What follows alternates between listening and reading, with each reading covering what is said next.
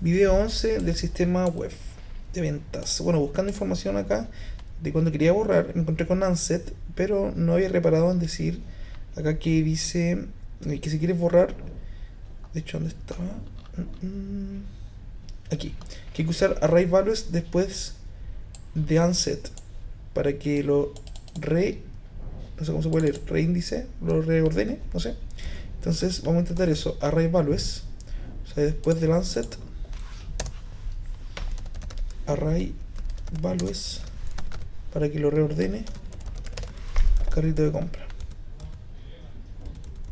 Ya bueno para que funcione voy a tener que cerrar esto. Voy a copiar esto.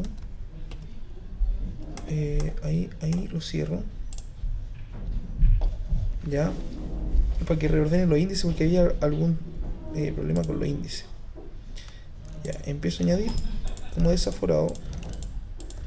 ¿cierto? ahí Listo. Y voy a empezar ahora, por ejemplo, S. S. No, tampoco.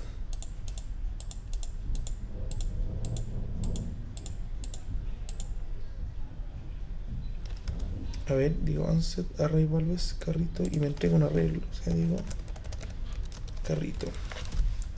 Ahora sí, viejo. Eliminar. De hecho, tengo que abrirlo de nuevo.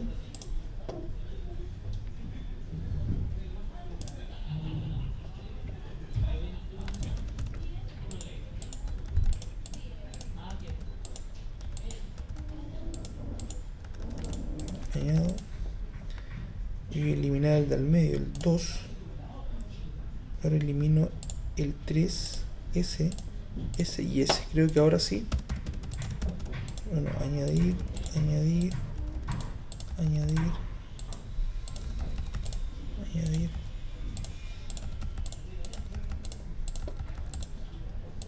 Elimino los del medio creo que no hay ningún problema. Ahora sí ya, y perfecto. Perfecto.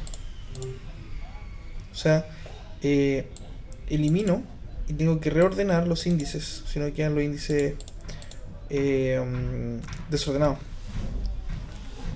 Entonces, ¿qué es lo que hicimos en el video pasado? Bueno, en el video pasado intentamos eliminar, por ende en el index, específicamente en el listado de compra, eh, añadí una nueva columna eliminar añadí un link hacia el controlador eliminar producto de carro. Le entrego el índice de la lista. Ese índice se va a ir aumentando. Eh, comienza en cero.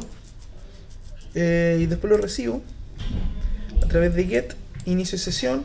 Veo si está el carrito. Si está el carrito lo rescato. Borro en el índice seleccionado. Eh, ordeno de nuevo los índices subo el carrito hacia la sesión pregunto si el carrito quedó vacío. Si es así, eh, eh, borro el carrito completo de la sesión y después voy hacia index. Ya eso, así que este video quedó hasta acá.